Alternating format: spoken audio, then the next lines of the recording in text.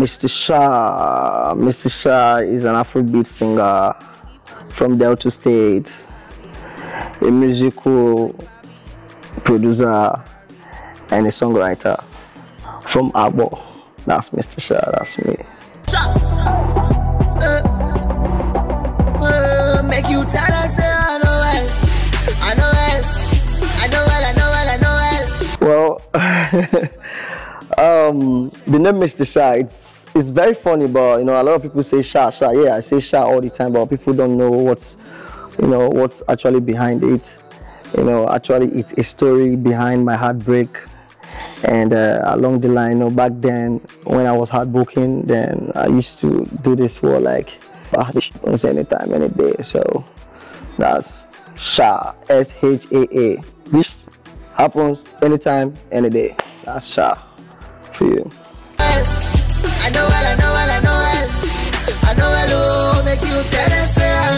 I think generally, uh, Nigeria, we're known for Afro Afro songs and Afrobeat. So I think my songs are basically Afro and Afrobeat.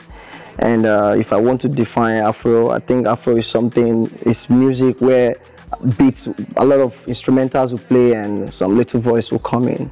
So I think my kind of music right now I'm doing right now is Afrobeat. And sometimes I do raga, and it's more like um, a dancehall kind of music, but they have to they have to be fusion of Afro in it. And I think I've done something like um, um, trap music, and there was still something of Afro that is called Afro trap. So I did something on Afro trap. That's I know where. So basically, I do Afrobeat music. Steady give them the banger. I was spending the dollar. All right, I was signed on that Butterflies record back then in Ghana, but along the line we had issues. I think they they never believed in me, and you know, so the contract ended, and I moved on to the next one, and I got another deal in US. And uh, this time around, I didn't want to do more of this record label thing, and I decided to tell the man that I have to partner so it can be business and we know that we are serious. We are putting out something is business. So it's more of business right now for me than the label thing.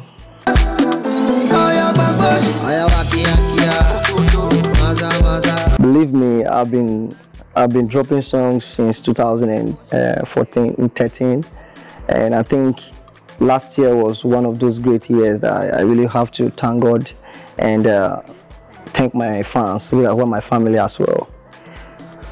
Bobby and I know where really, really, really is very impressive. I was shocked when I went to a club in Atlanta and uh, you know, people were dancing to the song. I was like, I didn't even know I even sang the song, you know. So I was, I was very happy. Believe me. Then, I think I'm impressed. It's really, it's really massive. It's really going well, and I'm happy about that.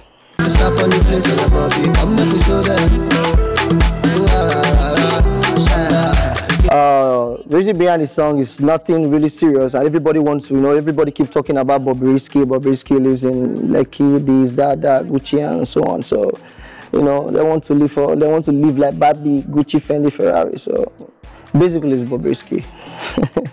Barbie, Gucci, Fendi, Ferrari. You want to leave for? Oh my Barbie, Barbie. You want to look like Barbie? My fashion sense, uh, I would say, uh, is a thing from African and a thing from the foreign. So I have this, you know, when when you're bringing Africa, you have to first give um, the kundus to Fela. So I would say a little bit, a bit for Fela and uh, a little bit with the foreign. So trying to mix the two together. That's my style. If you check my video with um, Bobrisky, I was only trying to actually sell my kind of person. You know, I want people to see, you know, the happy person I am and how jovial a human can live. So, uh, so my style basically is Afro. Well, apart from music, uh, generally, I think I'm a businessman. I do business, and that's apart from music. I think that's the only thing I can lay my hands on doing.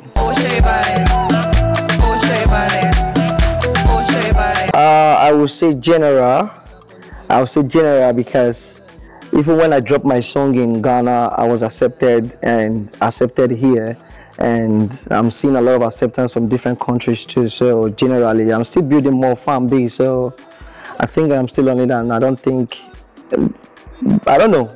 They are equal. I don't know. I don't know. I really don't know, but I think I get more Ghana, I get Nigerian, and more of Africa though. So Africa generally. Sandra Make you tired and say I know well. I know well, I know well, I know well, oh, eh, oh, she badass. Anyway, um, I'm leaving you guys right now, and I'll be no one good, but keep watching 9GZ Extreme Chocolate Music, and God bless you.